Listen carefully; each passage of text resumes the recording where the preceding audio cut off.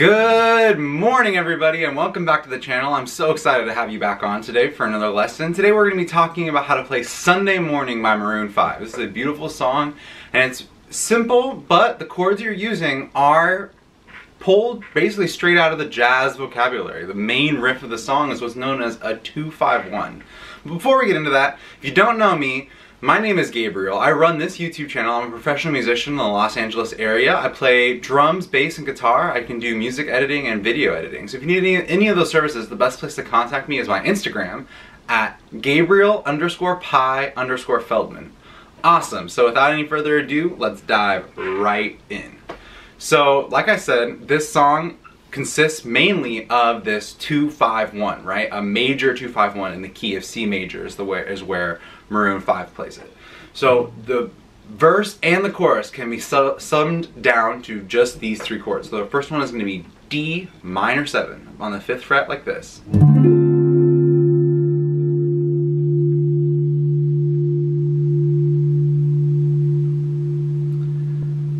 Next chord we're going to have, I'm going to play it as G13 like this.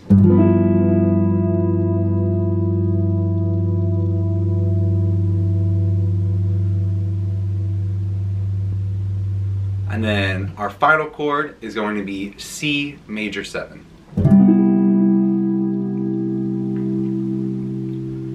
So these three chords make up the verse and the chorus.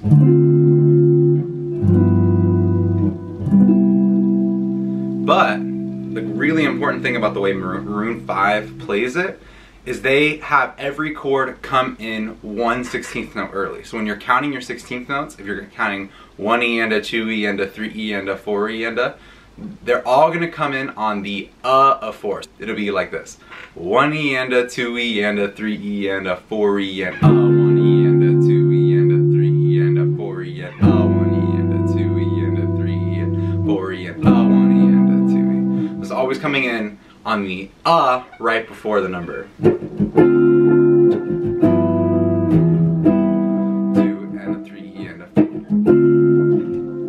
So just to kind of show you how that's going to feel with the metronome, uh, I'm going to go ahead and grab my metronome on my phone. The, the app I use is called Pro Metronome. It's one that I highly recommend you try.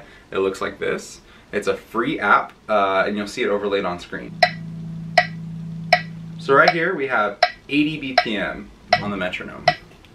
So the way it's going to feel is 1E and a 2E and a 3E and a 4E and 5E.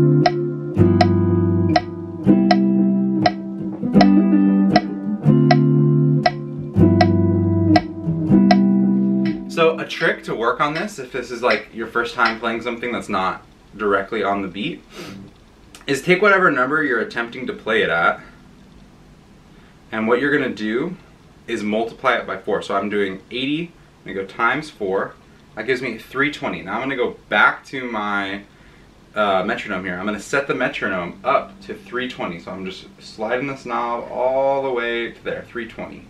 So now, now we have an incredibly fast metronome.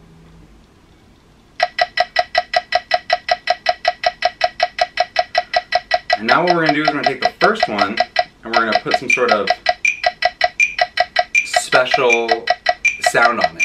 So now, really, the high-pitched sound is going to be the actual number. So you're going to have one, two, three, four. So we're still at 80. Two, three, four. One, two. And all these other ones are playing all your E and A's, E and A's, E and A's, alright? So they're playing the E and A of every single number. So altogether, what you're to be hearing is 1E and a 2E and a 3E and a 4E and a 1E and a 2E and a 3E and a 4E and a. This will make it much easier to find the us, right? We got 1E and a 2E and a 3E and a 4E and a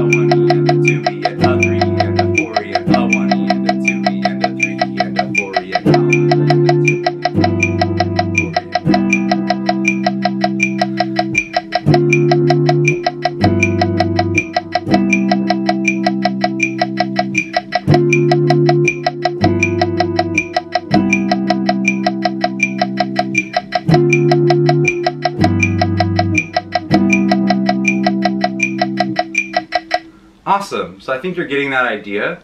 Uh, and you don't have to do it at this speed. I'm doing it at the equivalent of 80 BPM, which is 320 on the metronome. But if you wanted to do it, say like 60 BPM, then you could put it to 240 on the metronome. But by getting it, playing it four times as fast, the metronome four times as fast, and having that accented beat will really help you hear what are called the subdivisions. All the other 16th notes happening inside of, of one beat. Great, so that covers the main riff of the song. Now we have one more super duper famous part, which is the the the the riff that they play, right? The,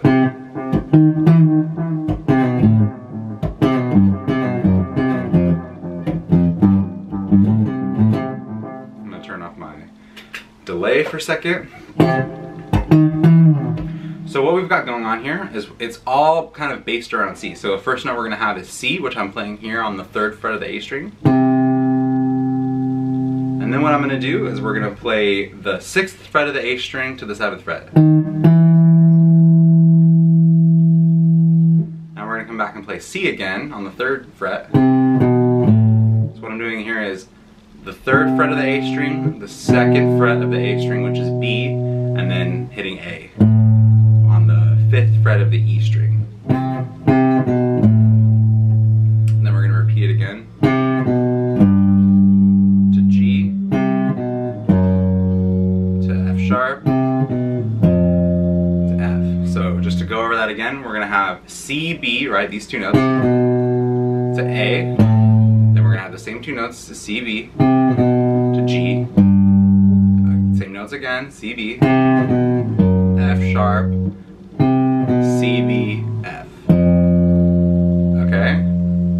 they walk it up, F, G, and they have this part where it goes. So this is just G, A, C, A, C.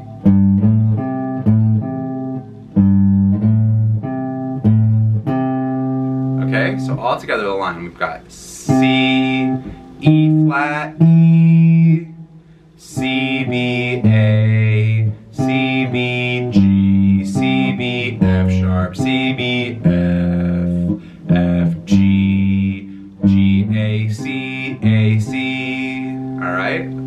faster.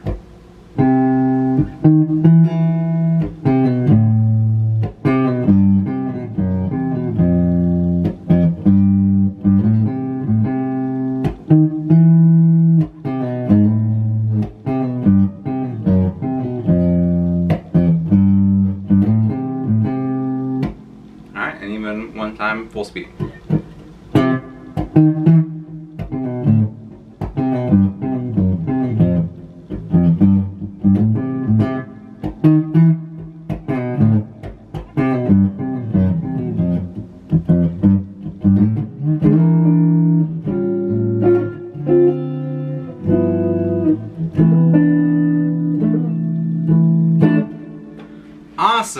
With that, that is going to conclude this video for today. With those two parts, you should be able to play all of Sunday morning and get through it all. So it's a really, really fun song. And I think a really cool concept is that those main chords, this D minor 7, G13, and C major 7, these are your main what's called a 251 in jazz, a major 251. It's a very, very common jazz chord progression that you'll see all the time. It's great because it'll obviously play you Sunday morning, but you can get a lot more mileage out of it if you look at other jazz standards. You can actually use those same voicings to play like many, many other songs, including some really, really famous ones like Girl from Ipanema or different really beautiful jazz standards like that. So awesome, if you enjoyed this video, please give it a like and subscribe. Uh, I would really love to hear down below in the comments if there's anything that I could do to help improve the quality of my videos. I'm always looking to improve and see if I can make it at all better. So if you have some suggestions of ways that I could maybe make, make it sound a little bit better, then I would be super delighted to hear them. Awesome. Have a great day, and bye-bye.